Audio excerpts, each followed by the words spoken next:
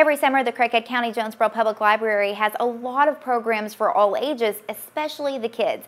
This summer, it's all about the superhero at the public library. So something really fun that we want your kids to be a part of is our Superhero Academy.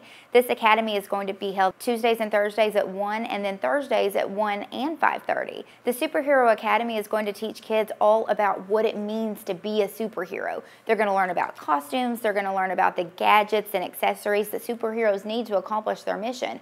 They're also going to learn about what kind of super powers there are.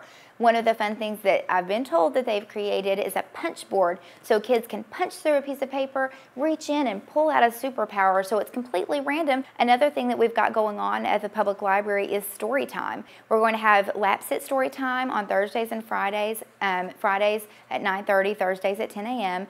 We also have something called Family Story Time, which is offered Monday, Tuesday, and Thursday. Family Story Time is for kids of all ages. So if you have kids that vary from school age all the way down to, to the little ones, you can bring everyone to this story time. But story time is also about making a craft, singing songs, getting up and moving around and having fun.